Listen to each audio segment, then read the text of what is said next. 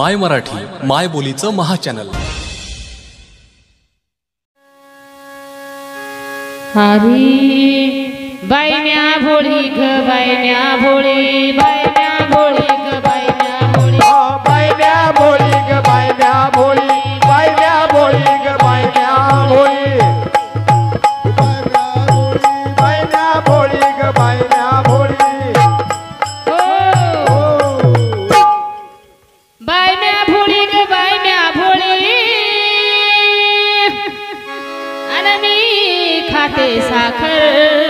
पोळी बायम्या भोळी ग बायम्या भोळी आणि मी खाते साखर पोळी. आणि या दादुल्याला घालते अंबाड्या तुरी. कसं बसलंय धर्मेंद्र बसल्यासारखं. येड उठलं चिपट्यात मुतलं म्हणा भारड मन म्हणलं होतं. एक म्हणलं बसलं हाजरी लावलं.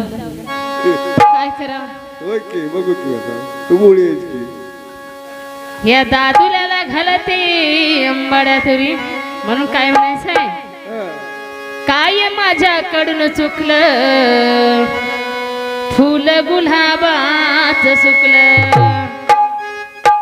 काय माझ्याकडून चुकलं? ए फुल गुलाबाच चुकलं आठवण येते तुझी र पावण्या.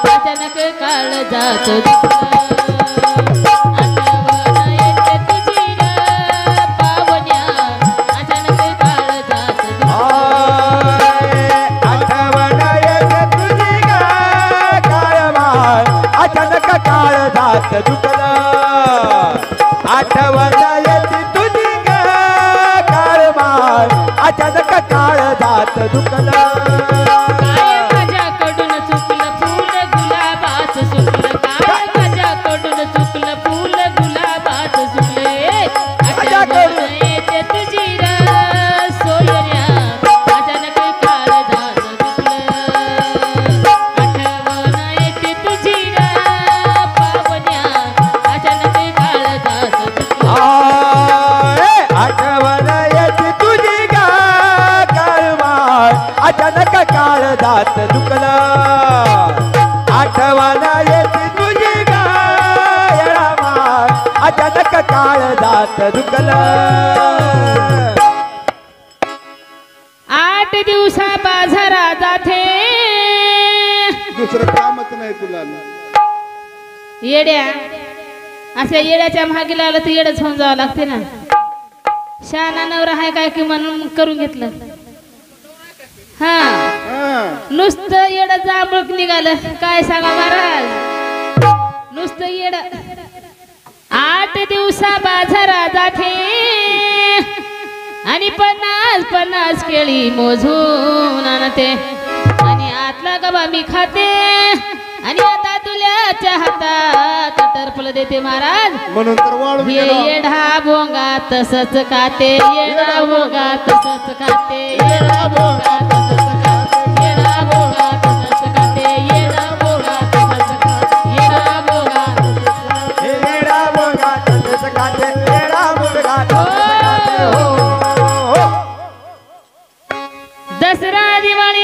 दादुल्याची नानी